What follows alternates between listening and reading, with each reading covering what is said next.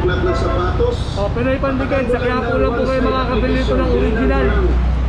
Dito lang po sa Quiapo, Quezon Boulevard. Harap, improved of Cebuana Lulier and BDO. pinipiling materialis pinakapitan. ito sa oh. Ito rin ang pandikit na pwedeng pang vulcanize. Ito, sir, video Dahil rubberized po ito kapag natuyo. Ginagamit na rin ito ng mga gumagawa ng sapatos One sa side Marikina. application lang, ma'am, sir, Lahat oh. ng gumagamit ng pandikit na ito ay bumabalik at tinatangkilik. Yung mga dahil didikitan sa niyo po.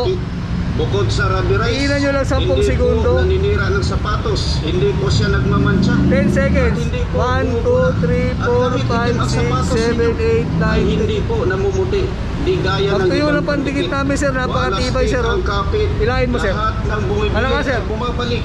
Pwede rin sa mga chismosang kapitbahay. Kaya siya katibay, sir. Sa mga walang siyuta dyan. Sigurado 100 lang, magkakaroon kayo ng forever sa pandikit na ito. Kaya bili na po kayo. Hindi sayang ang pera nyo dito. Tatlo, isang daan lang po ang original na Pinoy Pandikit. Pinoy Pandikit. Ito ang pinakamatibay na gamitin sir, sa basag na ako, ah. At pwede rin itong pang-vulcanize dahil rubberized po ito kapag natuyo. Wala pong pinipiling materialis ang Pinoy Pandikit. Kapag dikit lang po ang pag-uusapan, ma'am, sir.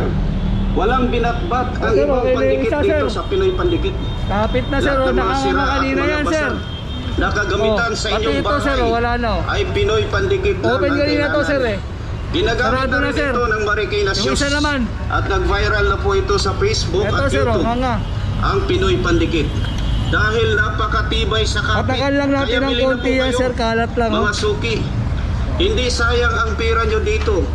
Isang daan po ang 1, 2, isang 3, balot 4, 5, ang 6, 7, original 8, na 9, Pinoy 10. Pandikit. Kung pinakamatibay na Kapit na, pandikit sir, oh. ang hinahanap nyo, subukan ninyo ang original na Pinoy Pandikit na gawang Pinoy na tinatangkilik ng na mga eh. Pinoy. Ito na lang, isa na lang. Lalo na sa mga sapatos nyo, Nang na si oh. sandals, monoblock, Oh, ito. Pairings ng motor, ceramic, Dikitan natin, figurine, sir. basag na postiso. Pwede rin sa bakal, kahoy, Tapos tiles, ipitin natin, PVC, 10 segundo lang. stainless, salamin. Lalo na sa mga tuklap ng sapatos. 1, 2, Patakan mo lang ng 3, 4, one-side 5, application, 6, diinan mo lang 7, 8, 9. ng 10 seconds. Hindi na kayang tuklapin kahit anong lakas ang hila. Wala pong pinipiling materialis, na yung bunganga, lahat sir. pinakapitan. Ito rin ang pandikit na pwedeng pang vulcanize dahil rubberized po ito kapag natuyo.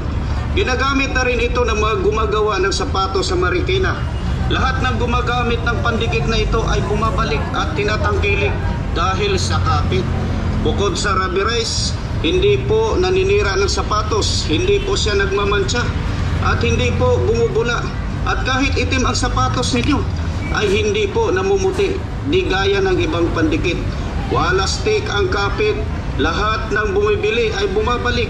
Pwede rin sa mga chismosang kapitbahay, ma'am. Sa mga walang siyuta dyan, sigurado magkakaroon kayo ng forever sa pandikit na ito. Kaya po Tibay, kayo. ko Hindi sayang ang pera nyo dito. Tatlo, isang daan lang po ang original na Pinoy Pandikit. Okay. Pinoy Pandikit. Follow nyo yung YouTube channel ni Sir, oh. Pinoy. Marami kayo Para sapatos, O, sir, okay na, sir. Sandals, Tatlo po, tatlo. monoblock, Sir, okay na, sir. ceramic, figurine. Pwede na ulit sir, pandalawang taon. Kahoy, tiles. Ang original na Pinoy Pandikit. Kung pinakamatibay na pandikit ang hinahanap nyo, subukan ninyo ang